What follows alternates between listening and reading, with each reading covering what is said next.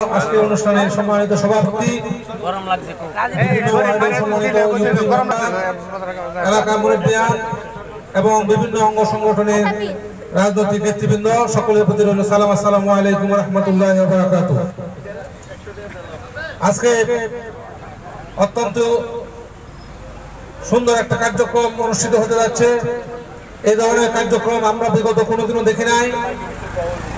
যে কার্যক্রমটা নারী ও শিশু নির্যাতন, নারী এবং নারী নির্যাতন বিরোধী কার্যক্রম, এই নারী নির্যাতন বিরোধী কার্যক্রমে আজকের এই অনুষ্ঠানের যে আয়োজন করেছে পাকুন্দা থানা পুলিশ, তাদেরকে আমরা এলাকাবাসীর পক্ষ থেকে ধন্যবাদ এবং কৃতজ্ঞতা জানাই।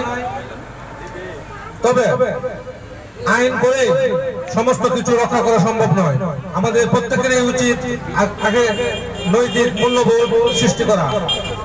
আজকে নারী নির্যাতনের মতো একটি মারাত্মক ব্যাধি তখনই সৃষ্টি হয় যখন আমাদের নৈতিক মূল্যবোধের অবক্ষয় ঘটে। এখন করোনাকালীন সময় চলছে।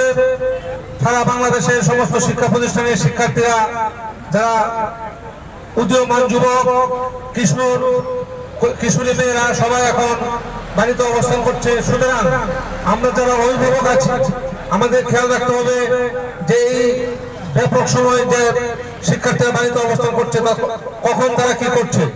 আমি আজকের এই অনুষ্ঠানে একটা মেসেজ দিতে চাই যে যদিও করোনাকালীন সময়ে সমস্ত শিক্ষা প্রতিষ্ঠান বন্ধ, কিন্তু আপনারা জানলে অত্যন্ত খুশি হবেন। বর্তমান জনবান্ধব সরকার মাননীয় প্রধানমন্ত্রী জননেত্রী শেখ হাসিনা নির্দেশে শিক্ষা মন্ত্রণালয়ের অনুমতি ক্রমে প্রতিদিন স্কুল, কলেজের বিশ্ববিদ্যালয়ে অনলাইন ক্লাস কার্যক্রম চলছে। এবং টেলিভিশনের মাধ্যমে লেখাপড়া চলছে। আপনারা যদি আপনাদের ছেলে মেয়েদেরকে এই যে দীর্ঘ সময় বাইরে তারা কি করছে, তারা কি অনলাইনে ক্লাসে মনোযোগ দিচ্ছে না অন্য কিছু করছে? এটা কিন্তু অপরাধী সৃষ্টি হওয়ার একটা অন্যতম লক্ষণ।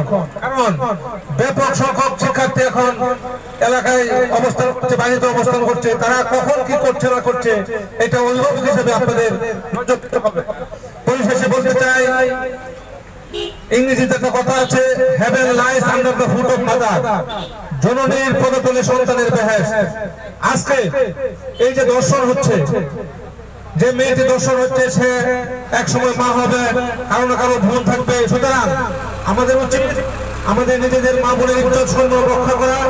পাশাপাশি অন্যের প্রতি ইতিবাচক মনোভাব পোষণ করা। আর পুলিশের যে কার্যক্রম, এটা বর্তমান সরকার অত্যন্ত সচেতন এই বিষয়ে আমরা তাদেরকে সহযোগিতা করব। যে কোনো অন্যায় অপরাধ যে কোনো জায়গায় হবে, আমরা তাদেরকে সহযোগিতা করব। শুধু তারা একা সমস্ত কিছু কন্ট্রোল করা সম্ভব নয়। তাই আজকের অনুষ্ঠানে অনেকক্ষণ যাবতে আমরা অপেক্ষা করতেছি। তবে এই ধরনের মহতি অনুষ্ঠান খুব কমই পাওয়া যায়। এই অনুষ্ঠানে আজকে উপস্থিত থাকতে পেরে এবং দু চার কথা বলতে পেরে আমি নিজেকে দণ্ড মনে করি। পাশাপাশি এত সুন্দর একটা অনুষ্ঠান আয়োজন করার জন্য ঠাকুরদা পুলিশের সম্মানিত অফিসার, নবনিযুক্ত অফিসার ইনচার্জ ওনাকে ধন্যবাদ দিয়ে এলাকার নেতৃবৃন্দ, এলাকাবাসী, ইউনিয়ন পরিষদের চেয়ারম্যান মেম্বার সাহেবদের সকলকে ধন্যবাদ দিয়ে আমি আমার সংক্ষিপ্ত বক্তব্য এখানে শেষ করছি। আসসালামু আলাইকুম রহমতুল্লাহ